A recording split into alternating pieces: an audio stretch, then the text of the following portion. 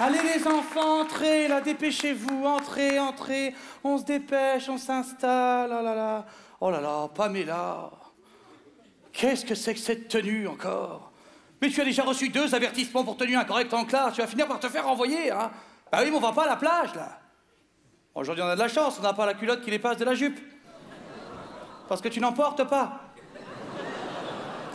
Bien, bon, les enfants, ça ne va pas du tout. On a reçu les récents chiffres de l'éducation nationale. Vous êtes très mauvais en calcul mental, les enfants. Le ministre de l'Éducation préconise 15 minutes de calcul mental par jour. Alors, je vais tout de suite vous donner des exercices à travailler chez vous. hein. Alors, j'ai essayé de personnaliser un peu ces problèmes hein, pour vous aider à vous sentir plus concerné par ces chiffres.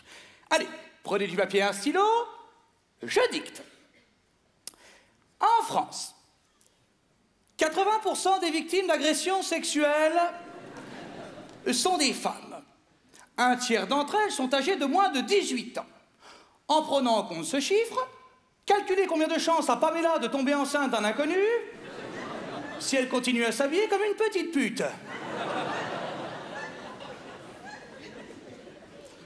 Deuxième problème. Un récent sondage, 40% des personnes interrogées considèrent la culture musulmane comme une menace. Une menace, hein et, et ce sont les vrais chiffres, hein 38% ne se prononcent pas, donc certainement qui pensent la même chose. Et les autres, on s'en fout, c'est certainement les Arabes qui ont répondu. En prenant en compte ce chiffre et en sachant que vous êtes 30 dans cette classe, Mouloud calcule combien d'élèves te détestent. Qu'est-ce qu'il y a, Mouloud? Il y a Yanouko qui se fout de ta gueule? Ça te fait rire, Yanouko Oui? Prends du papier et un stylo. Un étudiant japonais se suicide dans le monde toutes les 15 minutes. En prenant en compte ce chiffre, calcule combien de chances tu as un jour de fêter ton 18e anniversaire.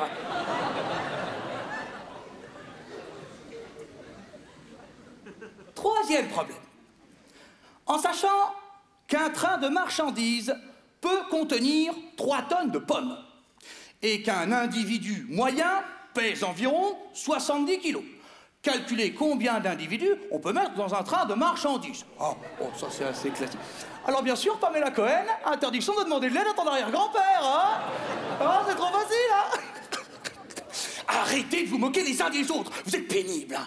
On n'est pas content avec votre professeur de français. On vous a fait travailler des expressions, notamment mettre des bâtons dans les roues. À aucun moment, on vous a demandé de tester cette expression sur le fauteuil roulant de la petite Émilie, hein C'est cruel ce que vous avez fait, là, hein Émilie est une enfant comme les autres. Pratiquement, en tout cas. Pardon, Émilie. Oui, ma chérie, on va te faire un problème personnalisé pour toi aussi, bien sûr, c'est normal.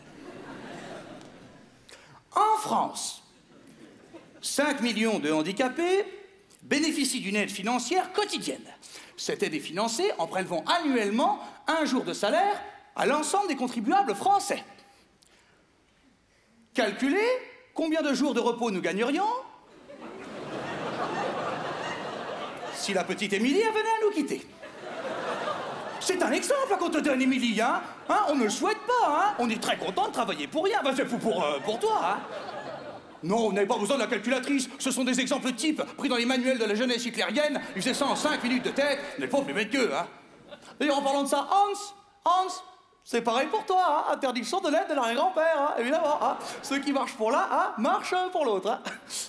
Non, Émilie, on parle de marché, tu peux pas comprendre.